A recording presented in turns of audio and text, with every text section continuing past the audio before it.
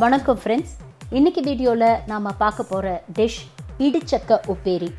சக்கை அப்படின்னா பலாப்பழம். இது வந்து அகெயின் கேரளாவில் ரொம்ப ஃபேமஸான ஒரு டிஷ் கேரளாவில் பார்த்தீங்கன்னா பலாப்பழம் பலாக்காய் வந்து இதை நிறைய சமையலில் யூஸ் பண்ணுவாங்க. பலாக்காவை வச்சு நிறைய விஷயங்கள் பண்ணலாம். சிப்ஸ் பண்ணலாம் ஜாம் பண்ணலாம் பேன்கேக்ஸ் பண்ணலாம். இந்த மாதிரி கறி வகைகள்லாம் பண்ணலாம். இது வந்து கேரளாவில் ரொம்ப ட்ரெடிஷ்னலான ஆத்தென்டிக்கான ஒரு டிஷ் இந்த இடிச்சக்கை அப்படிங்கிறது ஒன்றுமே இல்லை. நம்ம பலாக்காயோட இன்ஃபென்ட் ஸ்டேஜ் அதாவது காய் வாட்டரில் இருக்கும்போது அதை எடுத்து நம்ம சமைக்க போகிறோம் இடிச்சக்கை வந்து ரொம்ப ரிச் இன் கேலரிஸ் அண்ட் நிறைய குட் ஃபேட் வந்து அதில் நிறைய இருக்குது அப்படின்னு சொல்லுவாங்க. அதனால் முடி வளர்கிறதுக்கு வந்து இது நல்ல ஒரு டிஷ் அப்படின்னு சொல்லுவாங்க. இம்யூனிட்டி வந்து நல்லா இம்ப்ரூவ் ஆகும். அதனால் இது வந்து டைஜஷன் நல்லா இம்ப்ரூவ் பண்ணும். ப்ளட் ப்ரெஷரை நல்லா கண்ட்ரோல் பண்ணும். அதே மாதிரி போன் ஹெல்த் வந்து நல்லா வச்சுக்கும். கேன்சர் ப்ரிவெண்ட் பண்ணுறதுக்கு டயபெட்டிஸ் ப்ரிவெண்ட் பண்ணுறதுக்கு இல்லை கண்ட்ரோல் பண்ணுறதுக்குலாம் இது ஒரு நல்ல வெஜிடபிள் இதை வந்து நம்ம யூஸ் பண்ணலாம். அதே மாதிரி வெயிட் ரெடியூஸ் பண்ணுறதுக்கு கூட இது வந்து ஹெல்த்தி ஃபேட்ஸ் இருக்கிறதுனால இது வந்து நிறைய சாப்பிடலாம் அப்படின்னு சொல்லி சொல்லுவாங்க. வழக்கமாக வெஜிடபிள்ஸ் எல்லாம் பண்ணி கொடுக்கும்போது அதில் வந்து ஒரு சேஞ்சாக இந்த இடிச்சக்கையை வச்சு நம்ம வந்து ஒரு உப்பேரி பண்ண போகிறோம் உப்பேரிங்கிறது நத்திங் பட் அ கறி அது கேரளா ஸ்டைலில் தேங்காய் பச்சை மிளகா சேர்த்து நாம் பண்ண போகிறோம் இப்போது இந்த இடிச்சக்க உப்பேரியை எப்படி செய்யறது அப்படின்னு பார்க்கலாம்.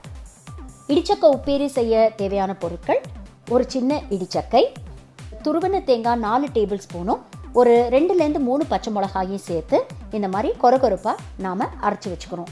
அது நல்லா ஃப்ளேக்கியாக இருக்கணும். அதில் அந்த பச்சை மிளகா தெரியுது பாருங்கள் அந்த பதத்தில் நாம் அரைச்சி வச்சுக்கலாம். இப்போது இடிச்சக்கையை நம்ம கட் பண்ணணும். பொதுவாகவே இடிச்சக்கை பைனாப்பிள் இதெல்லாம் பார்த்தா அது வந்து ரொம்ப பிரமிப்பாக இருக்கும் நிறைய பேருக்கு. ஆனால் அது வந்து கட் பண்ணுறது வந்து ரொம்ப ஈஸியான ஒரு விஷயம். இந்த பாருங்கள் இதுதான் அதோட நெட்டி அப்படின்னு சொல்லுவோம். முதல்ல அந்த நெட்டியை கட் பண்ணி எடுத்துருங்க. எடுத்ததுக்கப்புறம் அதை வந்து சின்ன சின்ன ரவுண்டு ஸ்லைசஸாக கட் பண்ணிக்கோங்க. பொதுவாக பைனாப்பிள்லையும் சரி இடிச்சக்கல்லையும் பார்த்தீங்கன்னா வெளியே வந்து அந்த முள் இருக்கும். ஸோ அந்த முள்ளை கட் பண்ணுறது தான் நிறைய பேருக்கு வந்து ரொம்ப பிரமிப்பாகவும் கஷ்டமாகவும் இருக்கும். பட் இந்த மெத்தடில் நீங்கள் கட் பண்ணிங்கன்னா இது ரொம்ப சிம்பிளாக நம்ம கட் பண்ணி முடிச்சிடலாம். இந்த மாதிரி ஹாஃப் அன் இன்ச் ரவுண்டு ஸ்லைசஸாக கட் பண்ணி வச்சுக்கோங்க.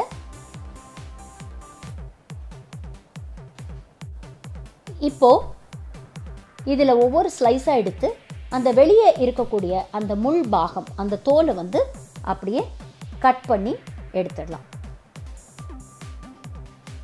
அந்த முள் இருக்கிற அந்த தோலை வந்து கம்ப்ளீட்டாக எடுத்துட்டோம். இதே மாதிரி எல்லா ஸ்லைசஸையும் கட் பண்ணிக்கலாம்.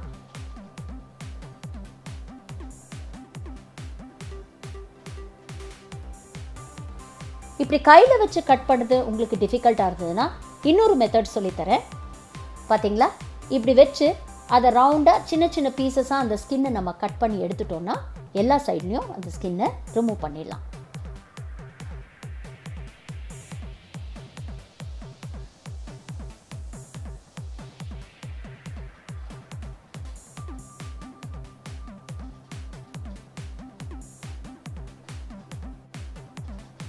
பாருங்கள் எவ்வளோ ஈஸியாக அந்த முள் இருக்கிற பகுதியை நாம் ரிமூவ் பண்ணிட்டோம். ஒரு பாத்திரத்தில் தண்ணி எடுத்து அதில் கொஞ்சம் மஞ்சப்பொடி சேர்த்துட்டு இப்போ கட் பண்ண இடிச்சக்கையை அந்த தண்ணியில் சேர்க்க போகிறோம் ஏன்னா அது கருத்து போகாமல் இருக்கிறதுக்கு தான் இப்படி செய்கிறோம் இப்போ பாருங்கள் அந்த ரவுண்டு ஸ்லைஸ் இருக்கு இல்லையா? இப்போ அந்த ரவுண்டு ஸ்லைஸை நம்ம என்ன பண்ண போகிறோம்னா எட்டாக நறுக்கிக்க போகிறோம் ரொம்ப சிம்பிள் ப்ளஸ் வடிவத்தில் ஒரு கட் போட்டுக்கோங்க. திரும்ப திருப்பி வச்சு இன்னொரு ப்ளஸ் வடிவத்தில் கட் பண்ணுங்க. இப்போ இது நல்ல ஸ்மால் பைட் சைஸ் பீசஸாக நம்ம கட் பண்ணிட்டோம். இந்த கட் பண்ண பீசஸை அந்த மஞ்சள் பொடி சேர்த்த தண்ணியில் போட்டு வச்சுருங்க. பைனாப்பிள்ஸையும் நீங்கள் இதே ஸ்டைலில் கட் பண்ணலாம். ஸோ பைனாப்பிள் கட் பண்ணுறது ரொம்ப ஈஸி இந்த மெத்தட் ஃபாலோ பண்ணிங்கன்னா. இப்போது ஒரு பாத்திரத்தில் தண்ணி எடுத்துட்டு இந்த க்ளீன் பண்ண இடிச்சக்கையை அதில் சேர்க்குறோம். தேவையான மஞ்சப்பொடி உப்பும் சேர்த்துட்டு இதை நல்லா வேக விடுங்க. அந்த உப்பு மஞ்சள் பொடியெல்லாம் அந்த தண்ணியில் மிக்ஸ் ஆகி அதை சக்கை வந்து நல்லா குக்காகி வரணும். பாருங்க தண்ணி நல்லா கொதிக்குது. அந்த சக்கை நல்லா வேகுது. ஆல்டர்னேட்டிவாக உங்களுக்கு டைம் இல்லைன்னா ப்ரெஷர் குக்கரில் வச்சு ஒரு மூணு இல்லை நாலு விசில் வந்ததுக்கப்புறம் கூட நீங்கள் அதை இறக்கிடலாம். இப்போ இந்த சக்கை வேகிறதுக்குள்ள ஒரு நாலு டேபிள் ஸ்பூன் துருவன தேங்காய் உங்கள் காரத்துக்கு ஏற்ப ஒரு ரெண்டு அல்லது மூன்று பச்சை மிளகாய் சேர்த்து அதை நல்லா ஒரு கோர்ஸ் பேஸ்ட்டாக நம்ம கிரைண்ட் பண்ணி வச்சுக்கலாம். நான் சொன்ன மாதிரி அதில் அந்த ஃப்ளேக்கியாக அந்த பச்சை மிளகா தெரியிற அளவுக்கு குறை குறைப்பாக அதை அரைச்சிக்கோங்க. இப்போது வேக வச்ச அந்த இடிச்சக்கையை நல்லா வடிகட்டி எக்ஸஸ் வாட்டர்லாம் எடுத்துட்டு அதை நாம் மிக்சியில் போட்டு பல்ஸ் மோடில் அரைக்க போகிறோம் அதாவது கொஞ்சம் ஒரு ஒரு திருப்பு திருப்புங்க ஆஃப் பண்ணிவிடுங்க திருப்புங்க ஆஃப் பண்ணிவிடுங்க அந்த மாதிரி பல்ஸ் மோடில் நல்லா இது ஃப்ளேக்கி ஆற வரைக்கும் அதை நாம் அரைச்சி எடுத்துக்க போகிறோம்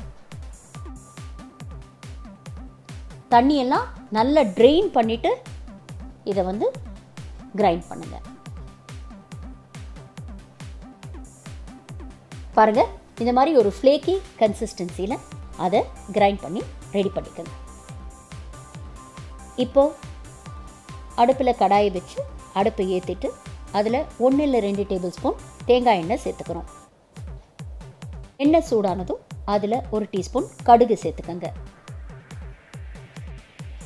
கடுகு பொரிஞ்சதும் அதில் ஒரு டீஸ்பூன் உளுத்தம்பருப்பு சேர்த்து நல்லா ஃப்ரை பண்ணுறோம்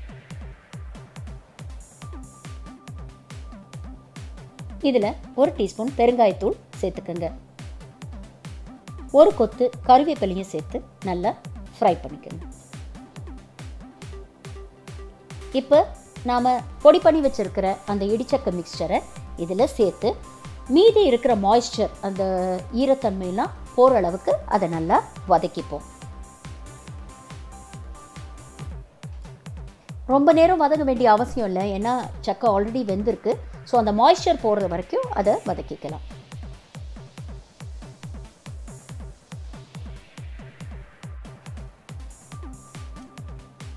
இப்போது நாம் பொடி பண்ணி வச்சுருக்கிற தேங்காய் பச்சை மிளகா கலவையை இதில் சேர்த்துக்கலாம்.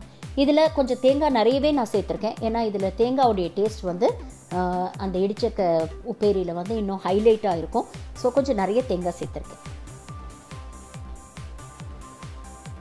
சேர்த்து அந்த தேங்காய் பச்சை மிளகாடைய பச்சை வாசனை போகிற வரைக்கும் லைட்டாக வதக்குங்க.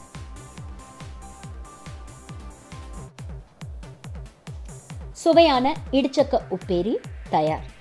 இது வந்து ரொம்ப சிம்பிளான ஒரு டிஷ் நம்ம வந்து ஒரு ஃபைவ் டு டென் மினிட்ஸ்க்குள்ளே இதை செஞ்சு முடிச்சிடலாம். அதே சேம் டைம் இது வந்து ரொம்ப நியூட்ரிஷியஸான ஹெல்த்தியான ஒரு டிஷ் பொதுவாக வெஜிடபிள்ஸ்லாம் சாப்பிட்ற குழந்தைங்களுக்கு இந்த இடிச்சக்க தோரன் நீங்கள் ரெடி பண்ணி கொடுத்தீங்கன்னா அவங்களுக்கு டெஃபினட்டாக இது பிடிக்கும். நீங்கள் உங்கள் வீட்டில் இதை ட்ரை பண்ணி பாருங்கள் எங்கள் சேனலில் வர ரெசிபிஸ் உங்களுக்கு கண்டிப்பாக பிடிக்கும். மறக்காமல் லைக் பண்ணுங்கள் கமெண்ட் பண்ணுங்கள் ஷேர் பண்ணுங்கள் சப்ஸ்கிரைப் பண்ணுங்கள் பெல் பட்டனை அழுத்துங்க. தேங்க்யூ